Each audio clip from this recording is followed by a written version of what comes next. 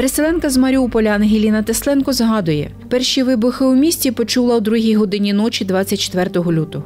Одразу зрозуміла, що буде виїжджати і залишати бізнес, який успішно вела в Маріуполі. Уже зранку повідомила персоналу, що її заклад не працюватиме, і поїхала до батьків у Запоріжжя.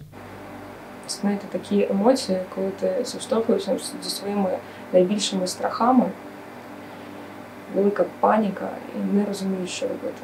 Частина мого колективу була там, бо люди там з сім'ями, з батьками, вони не хотіли виїжджати. Ми були на зв'язку з моїм шеф-кухарем Денисом. Після того, як пропав зв'язок, в мене не було можливості дізнатися, як моя команда справи, що відбувається на той момент. Колеги Ангеліни повідомили їй, що приміщення, де вони виготовляли суші та піцу на проспекті Металургів у Маріуполі, місцеві жителі використовували як укриття під час російських обстрілів. Там знайшли прихисток щонайменше 70 людей. Нині будинок, де була і суші доставка, знесений незаконною російською окупаційною владою. так як у нас е, е, приміщення, це було ну, можливо безпечно. Тоді здавалось так. То люди, які е, знаходилися у нас внизу, вони спаслися. Навесні минулого року до Запоріжжя змогли виїхати кілька людей, які працювали разом з Ангеліною в Маріуполі. До мене телефонує мій шеф-кухар каже: Ангелін, я вийшов пішком з Маріуполя. Допоможіть мені, будь ласка. Е, Оце є мотивація зробити щось для людей, тому що коли він приїхав, я не, я не запитувала, як е, справа. Але людина просто розповідала. Це дуже страшно.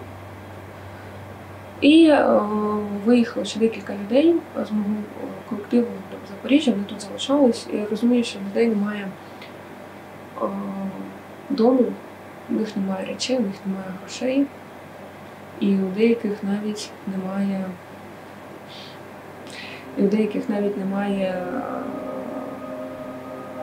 е, не втратили своїх родичів. Ми в Маріуполі жили в подвір'ку, підвалі, неділю, більше, більше не. Важко було. На жаль, е, е, мої родителі залишились там. Поки що не, немає ніякого шансу їх забрати. Мене вивезли з Маріуполя у село е, під Маріуполем. В п'ятій ранку закінчився комендантська година, я пішов пішки. І десь о 9 був уже у селі поруч. І там мене добрали люди, які підкинули до Запоріжжя. І тут було важко перші там, кілька днів, потім було, було легше. Та е, понімаю розуміння того, що все буде гарно. Добре, гарно, то що все, е, все буде так, як треба. Е, Роботу тут не шукав.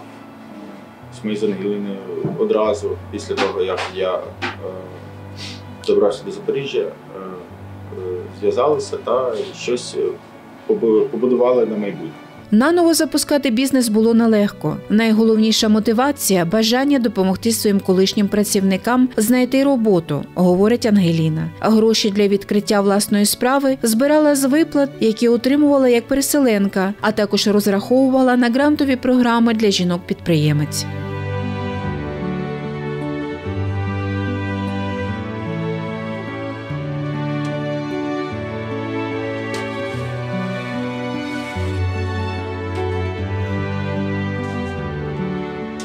Відновити бізнес нуля це неймовірно складно в умовах, коли немає постачальників, не працюють магазини, коли комендантська година починається приблизно з сьомої, якщо не помиляюся. Іноді це була з п'ятої великої свята.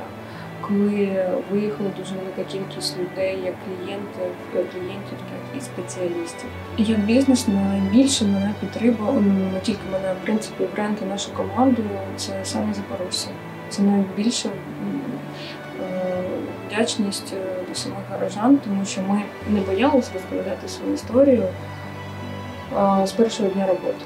Горожани вперше замовляли в основному це, щоб підтримати, а потім вони вже до нас поверталися, тому що справді сподобалось. Попри те, що Запоріжжя прифронтове місто, Ангеліна Тесленко планує розвивати свій бізнес тут. Ми плануємо розширятися. Ми розповідаємо свою історію не тільки для того, щоб розказати тільки про себе, А що може стати для когось і прикладом, що потрібно пускати руки, потрібно продовжувати життя. Війна, війна ще не закінчилась, але життя продовжується. Насамперед, це надія. Саме перше надія, розуміння тому, що в тебе є сили, то що ти зможеш, то що це все мине, а з чим залишишся ти на даний момент. Чимось тим, що вже працює, або е, тебе, тобі надає якісь кроки на майбутнє, або те, що ти е, чекаєш, просто чекаєш е, перемоги, та все. Цього замало для перемоги також. Запоріжжя дуже схоже на Маріуполь. Зовнішнє в нас є море, в Запоріжжі є Дніпро. В нас є широкий проспект. У вас в Запоріжжі теж є широкий проспект, який дуже гарний.